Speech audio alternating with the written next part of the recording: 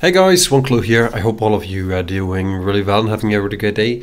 In today's video, do we want to talk about the Bitaxe Web Flasher, what you can do with it, and what has changed.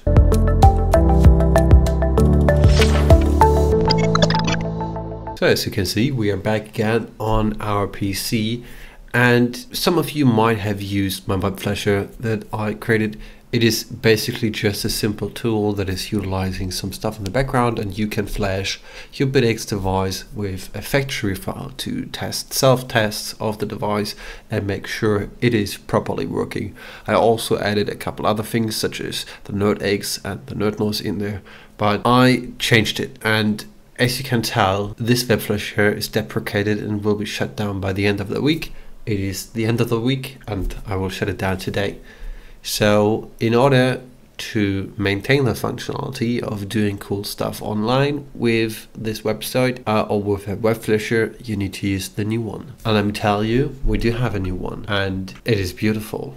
I, I, I don't want to highlight myself. It, it, it is I, I took some inspiration. I I was looking at different things and I redesigned it and maybe some of you are now wondering like like what the heck? Why should I use a new web flasher what's wrong with the old one? So first of all there are two reasons. First things first. Yeah it is it has a new ui it looks different. It is more beautiful the new one i'd say. And the second and more important feature is that you can now utilize the web flasher with multiple different browsers. So you can now use all chromium browsers. You're not limited only to google chrome and microsoft edge.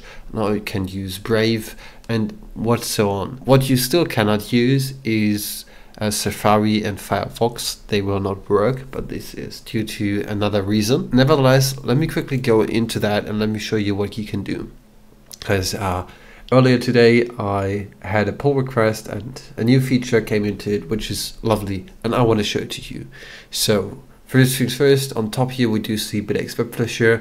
We do see a live counter of how many people are on our Discord server, which is amazing. And if you click on it, it will drag you over to our invite so that you can join the uh, the Discord of the Open Source Miners United community, which is great. If we click on features, it will go down. We see fast flashing. It is web-based and it supports multiple boards and modules. Yeah, that's correct. If you click on Get Started, you will get a quick overview here on the side of Connected Bitaxe click connect device, select the device model, and so on.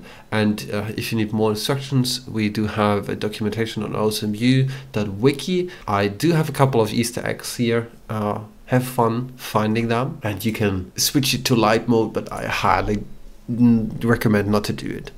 Let's now take a look on the functionality. So the core behind the Bitaxe Web Flasher on the old one was the ESP tool script and now everything is based on a ESP tool Node.js implementation. It is basically the same, but it functions different in how it works with everything in the backend, which is great, which allows us a couple other things.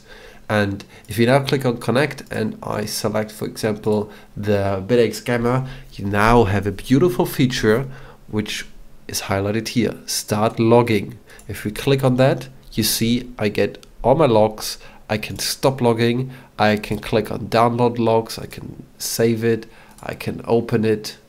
And you do see we see all the logs. So now what you can do is you can actually download the log. You can live log your Bitaxe device in the web. You don't need to install anything. You don't need to use anything. You just go to the bitaxeorg.github.io slash bitaxe-web-flasher website. That's it, period. Link to that will be in the video description down below, obviously. But now, let's uh, take a look on all the other things. So we do have a device selector. And in this case, I do have a Gamma that is on here and if I click on that I can select the board version. As you do see 601 is there. And this is a feature that was implemented yesterday on GitHub Weird Robot if I'm not mistaken. Thank you for doing that which is basically a firmware version selection. Initially I was not thinking of implementing that because I only wanted to upload the newest shit to this website but he thought it might be a good idea so yeah why not I mean there are plenty of things for and against it uh, but now you can select firmware. I'm still thinking about how many versions I will keep in there, probably the newest and the version before that. So you will only find two versions in here which should be fine. Yeah and then you could click on start flashing. I don't want to do that right now because my camera is hashing. Uh, let's dive into other things. For the super for example we do have three different boards. Uh, for the ultra we do have a couple more two two two four two five. So sometimes you will not see all the board versions such as uh, to one two three and two six or two seven for example on the Max you will only find the one or two.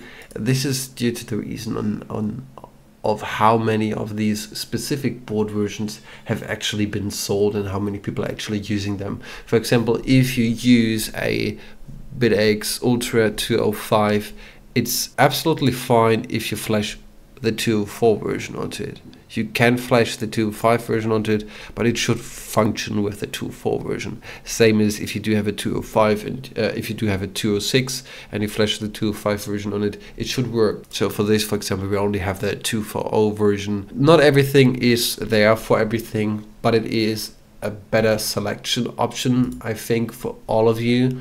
And that's the reason why this one has been rewritten and is now out there. And I just wanted to highlight that that there's a new option, especially for logging, as, as you've seen. Like just click on start logging. Uh, in this case, you see there's an error, and I will explain why. If you connect your device and you select versions that you want to flash, it will disable the logging functionality for a specific reason. The reason for that is there are two things in the background going on. We have for one the serial that is provided by your browser and then we do have an ESP loader, which is used to actually flash firmware files. So if I would now try to connect things to it and click on start logging, it will not work. So what I would need to do is I need to reset the website, I need to connect again to it, and then I can log it.